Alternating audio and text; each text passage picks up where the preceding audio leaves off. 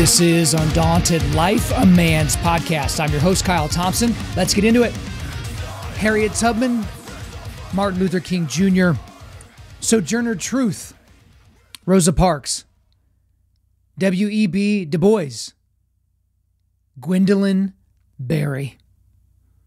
Now, most of those names you're familiar with, but probably that last one, Gwendolyn Berry. I mean, it's a beautiful name, but why would that name be on the list with all those other people? Well, guys, I don't know if you know this, but we have a brand new civil rights hero amongst us. Right now, if we shorten the name, it becomes Gwen Berry. It, you know, it slides off the tongue real nicely.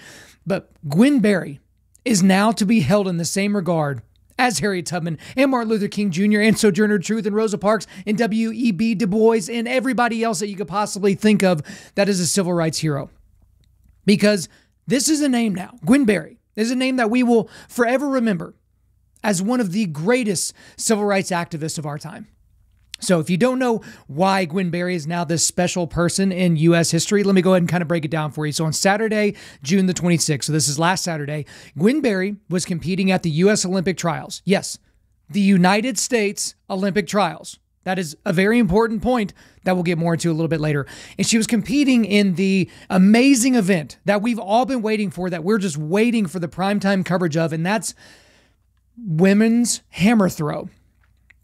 Okay, so Gwen Berry, she placed third at the uh, qualifications at the trials, so she did qualify for the Olympics for the U.S. team. But since she only got third in her own country, it's not likely that she will do any anything significant once the Tokyo Games roll around, uh, because that's international competition and she couldn't even win her own country. But hey, she placed third. She was on the podium. It means she's on the team. But when she went over to the podium, to stand there and get her picture taken and do all those different things to, to signify her third place finish, the national anthem of the United States of America began to play. Now, they don't play the national anthem at the US trials for every, you know, competition that's finished. It's just something that they play on a schedule, okay? Now, when the national anthem began playing, the first and second place finishers turned toward the flag. They put their hand over their heart because they're respectful human beings, but not Gwen Berry. Gwen Berry decided to turn her body away from the flag. She never crossed her heart, and she actually eventually held up a t shirt over her head, and the t shirt read Activist Athlete. Okay. Now, the thing about it is, Gwen Berry somehow thought that this was all a setup. Okay. So this is an, an actual quote from her. Okay. I feel like it was a setup. I feel like they did that on purpose, and I was pissed, to be honest. I was thinking about what I should do. Eventually, I just stayed there and just swayed. I put my shirt over my head. It was real disrespectful. I know they did that on purpose, but it'll be all right. I see what's up. It was funny because they said they were going to play it before we walked out. It just happened then, uh, it just happened that they played it when we were out there. So, you know, it's okay. I really don't want to talk about the anthem because it's not important. The anthem don't speak for me. It never has. So obviously, uh, Gwen Berry, amongst being a hero, she's off, also a linguist, and you know that's something she's also very, very good at. But Gwendolyn Berry, Gwen Berry uh, has a history of this. Okay, so according to Joe Morgan over at the Daily Wire, in 2019, Berry raised her fist while on the podium at the Pan Am Games, uh, another games where she was representing the United States of America, supposedly. Uh, the move led to a formal reprimand from U.S. Olympic and Paralympic Committee, but Berry was not suspended. She did, however, receive a 12-month probation. So here's the thing that we know that overnight, two things became true about Gwen Berry. Two things. Number one, she became a civil rights hero, as we've already established, right? And the second is that she became the most famous hammer thrower in world history. Okay? And if you don't believe me, can you name a single other hammer thrower from any country in history?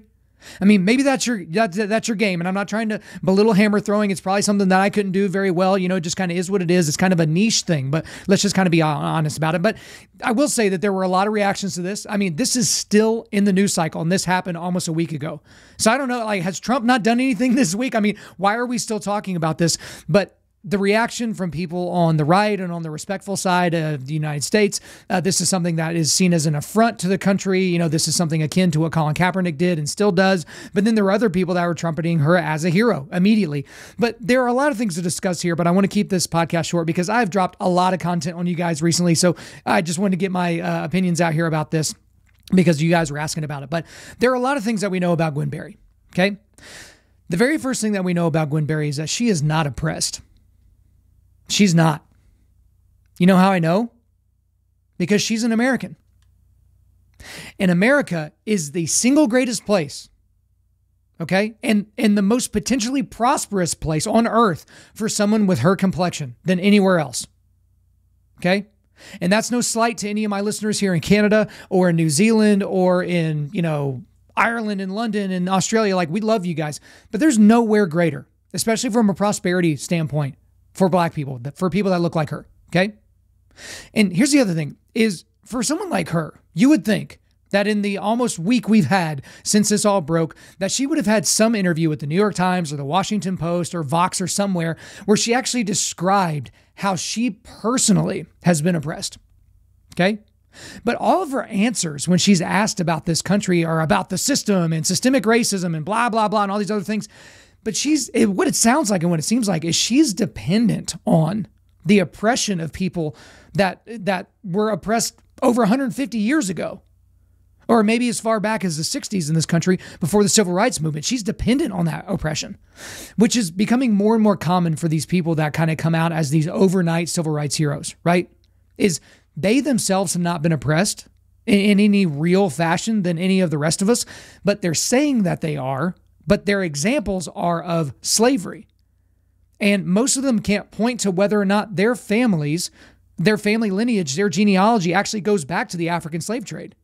They have no clue. Some of them would be astonished to find out that they might be the descendants of black slavers, right? They might be descendants of the tribes in Africa that were catching the members of their rival tribes and selling them to the slave traders, right? They don't have any idea. It's a complexion game. It's a melanin game, and they're playing it very, very well.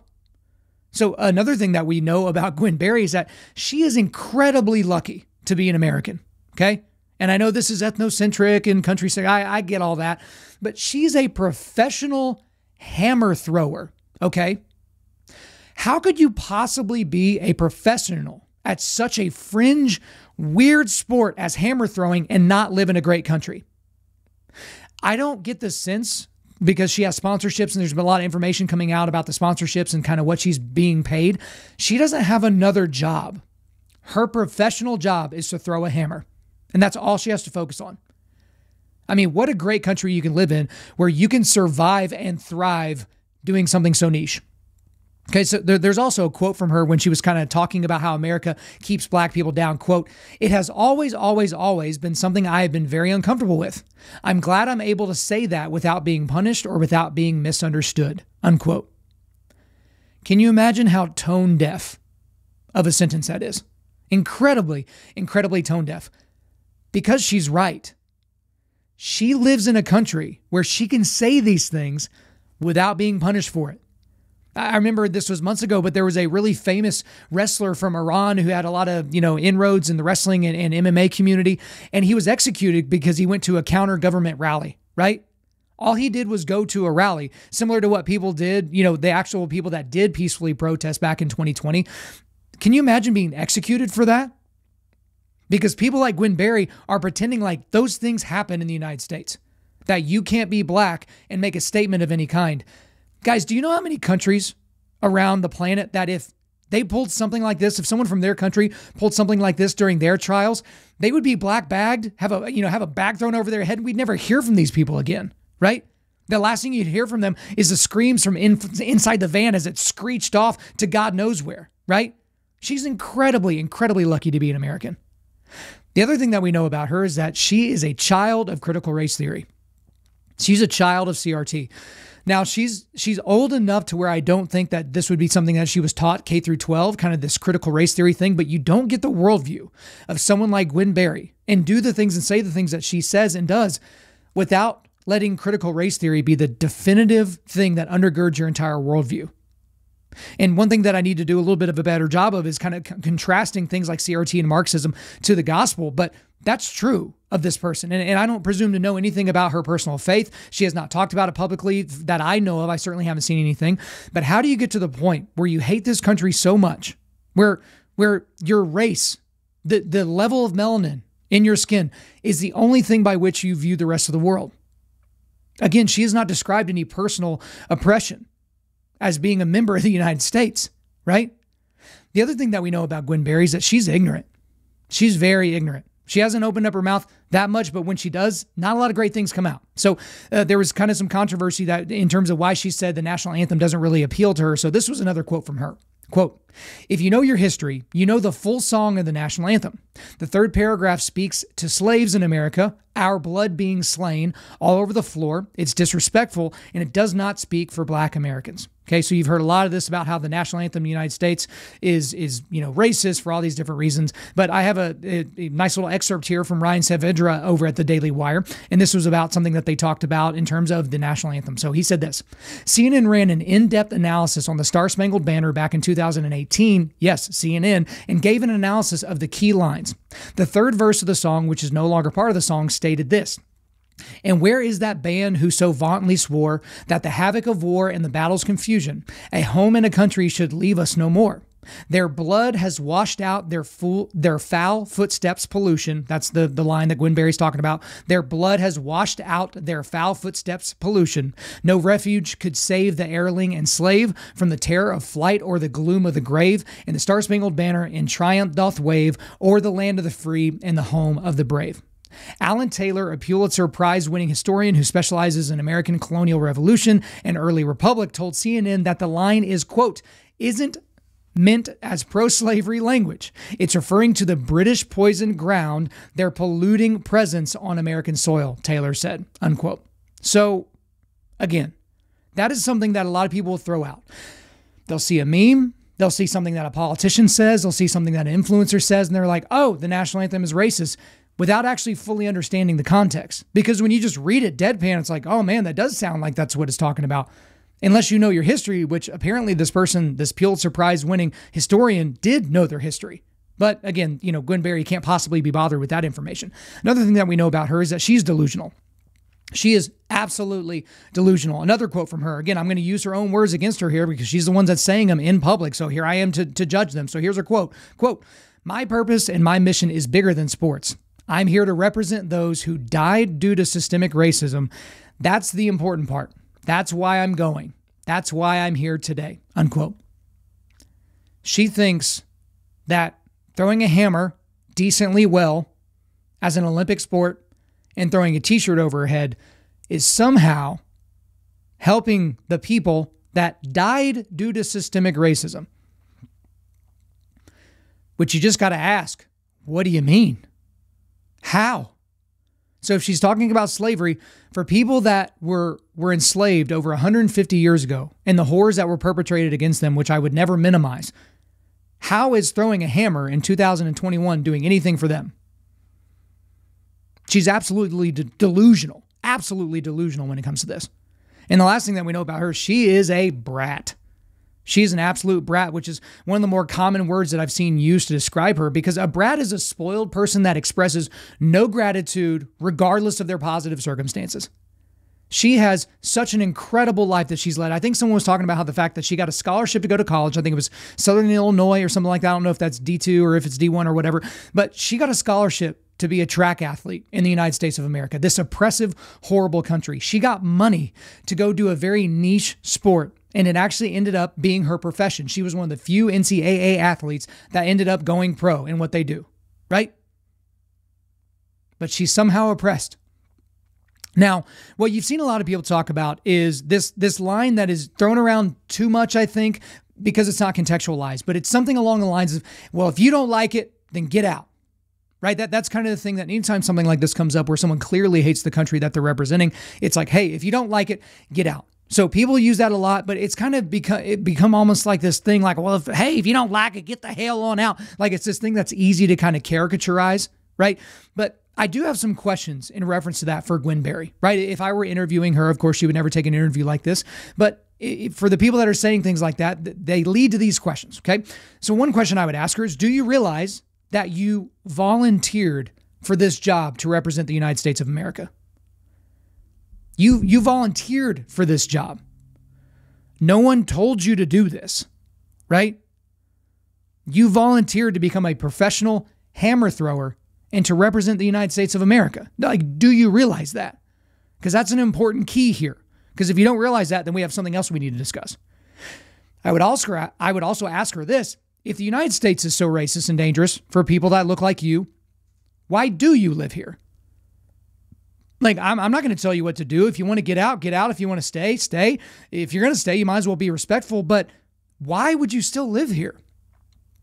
If, if you really are so oppressed just because of how you look, that seems like a really dumb thing for someone to do. Wouldn't you use some of your means that you clearly have to make a change? Again, we live in apparently the most racist and dangerous country for people of color in the history of ever, right? I mean, if we're ignorant of history and ever, but why do you still live here? Like, honestly, why? What would keep you here? And I guess another question I would ask her is why don't you immigrate to another country that isn't racist, systemically or otherwise, and compete for them? I'm sure there are plenty of African countries where you could, you know, pack up your hammer and go compete for them. I mean, why not compete for Sudan or Burundi or Togo or Niger or Somalia or any of those great African countries that are full of opportunities for people like you, right? How about you try out some of those super non homogenous societies like Denmark and Sweden and Norway? Hopefully, you're getting the dripping sarcasm there. But why don't you immigrate to one of those countries? I mean, those are the havens, right? These African countries or, or, some of these other countries in, in these different areas of Europe, like those are those are the places that we're supposed to be like, right? Like, why don't you immigrate there? But I, I guess the last question I would ask her, if she would ever even answer any of these, is if America is systemically racist and evil towards black people, right? Like like she says, and a lot of her people say, you know, then why have millions of black Africans immigrated to the United States and millions more wish to do the same? That's kind of an easy proof right there. Because people in this country are convinced that we are the worst place possible for black people and other people of color. What about the people that are wanting to come here? Whether it's across our southern border, illegally or legally through the other immigration systems, we keep getting people that want to live here that don't look like me. They're not a white guy. Why would they do that?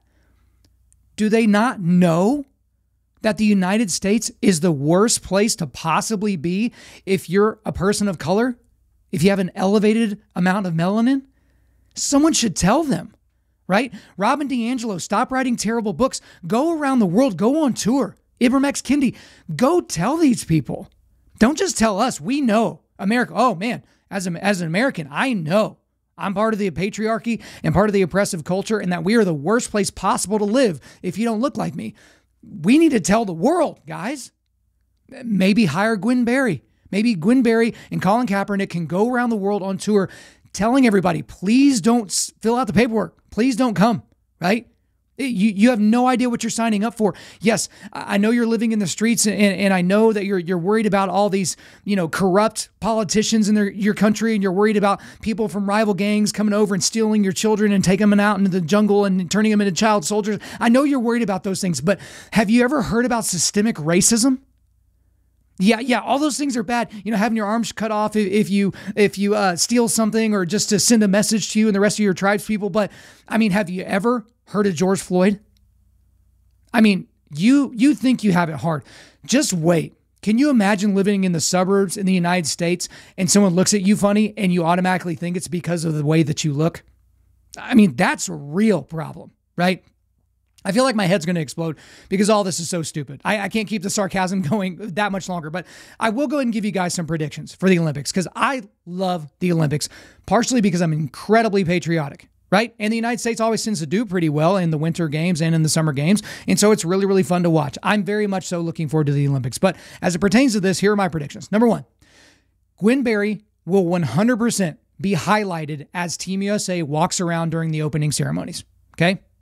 So they're going to highlight, you know, Katie Ledecky and they're going to highlight uh, Simone Biles and they're going to highlight, you know, whoever else. I don't know who the other, you know, famous U.S. athletes are quite yet. You know, NBC hasn't told me the ones yet, but Gwen Berry will 100% be highlighted. And guys, I hope I'm wrong on these, but I really don't think. I think you can see the writing on the wall.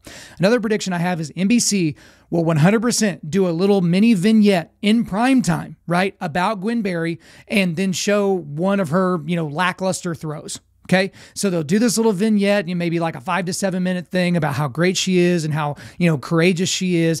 And then they will show one of her throws, and it's not even going to be probably in the top 10 of throws from the people that she's competing against. And then everyone's going to kind of move on from there. Okay.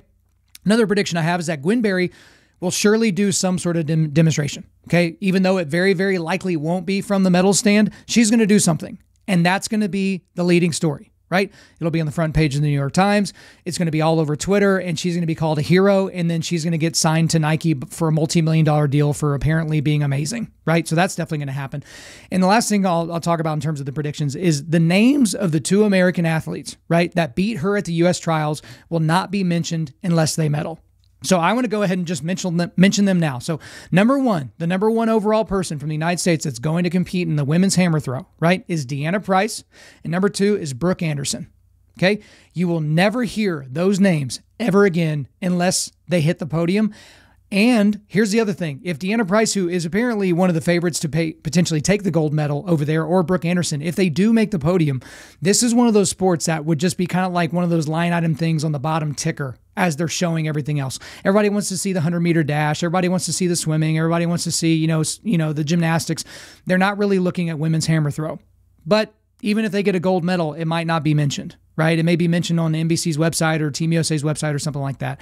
But I'll go ahead and wrap up today by saying this. There is a wish that I have here because a lot of people have said this and some people are kind of going back and forth on it. But I 100% believe that she should be kicked off of Team USA. I mean, at the very least, because here's the thing, guys, is this is a pretty easy flow chart. Do you hate the country you're supposedly representing? Yes. You don't get to compete for that country. Like, this isn't a hammer throwing league. I forget who said it, but someone came up with a really good thing. That'd be like signing a contract with the New York Yankees, right? And saying, I don't want to wear New York Yankees stuff. I hate the New York Yankees. I won't wear pinstripes. I want to wear Red Sox jersey, right? Or I want to wear no jersey. I just want to put this, you know, orange shirt over my head, right? Well, that doesn't really work.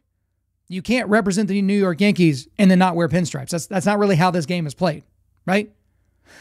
But guys, can you name another athlete, prominent or not, from another country that represents that country professionally, but actively hates that country? Can you name one other athlete? Because again, you're playing for Team USA. It says USA across your chest. They will hand you a flag of the United States of America if you medal for you to drape over your shoulders, right? You will look up towards your flag as if you win the gold medal, they will play your national anthem. You will sing it and you will cry, right? As is to be expected.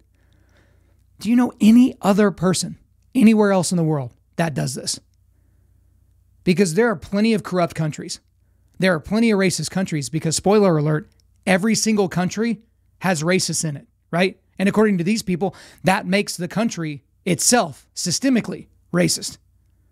There are, there are countries that have atrocious things that they do as a country, right? Think about all the athletes that are going to be competing for Team China, right?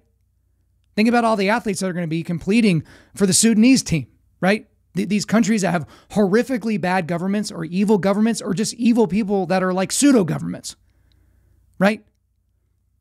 But these people aren't disrespecting those countries. And most of them would probably say, hey, I love my country. I don't love everything that has been done in the name of my country, but I'm going to go out there. I'm going to run as hard as I can for my country. I'm going to swim as hard as I can for my country. I'm going to jump as high as I can for my country. I'm going to do whatever I can do to bring pride to my country. But somehow that's too much for Gwen Berry. And I guess we all just get to get popcorn and watch. All right, guys, before we let you go, we are going to do a quick resilience boost at Undaunted Life. Our mission is equipping men to push back darkness with content that forges spiritual, mental, and physical resilience. So I just got to throw this out there to you guys. I am so excited uh, for, for all of you to be taking in the content. And I just wanted to thank everyone that started and has already finished our seven part devotional, How to Build a Godly and Manly Foxhole. Whether you looked at it here on the podcast feed or you went over to YouVersion or you went over to our website, we just really appreciate you guys. And this is already having an impact. We're already having guys that are making definitive changes to their personal lives and their personal communities to try to develop a foxhole. Like, you know, we're already getting feedback from a lot of different places. So that's a quick resilience boost for you today. I'm just going to leave you at the website. It's undaunted.life backslash donate backslash foxhole. That's how you can get access to the seven day devotional. You can download those files for yourself. Again, all that we ask is for you to donate something to us. We didn't put this behind a paywall, but if this is bringing value to you, then give us a donation commensurate with that level of value. If it's worth 50 bucks to you, if it's worth 100 bucks to you, we would say at least do 10 bucks. But guys, this is having a tremendous impact. Show this content to the people at your church. Show it to your pastor. Show it to whoever the men's ministry person is, right? If you if you're just listening to me, I had major air quotes there. But guys, check that stuff out and be sure to let me know how you like it. All right, guys, thanks so much for listening to the podcast. Wherever you're listening to this, please subscribe, rate, and review. If you want me to come speak at your live event or on your podcast, you can just shoot me a message to info at undaunted.life. That's I-N-F-O at undaunted.life. Follow us on Instagram and TikTok and like us on Facebook. You can also check out our website for everything else, including how to donate to keep more content like this coming. That's at www.undaunted.life. We also want to thank the band August Burns Red for allowing us to use their music for our content. The intro outro track on this podcast is their song Cutting the Ties which is off their 10th anniversary re recording of their album Leveler. Links are in the description. I'm your host, Kyle Thompson. Remember, keep pushing back darkness, keep forging spiritual, mental, and physical resilience, keep seeking the Lion of Judah.